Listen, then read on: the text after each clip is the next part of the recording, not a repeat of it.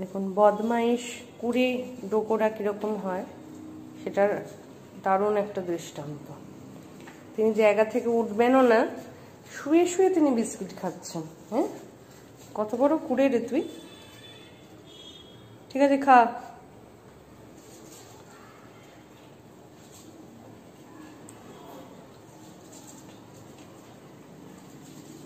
একটু নড়, একটু নাড়া রে, বিস্কিটগুলোকে তো ফ্লোরে ফেলে দিলি। এত কুড়ে কেন রে এইবার তুই?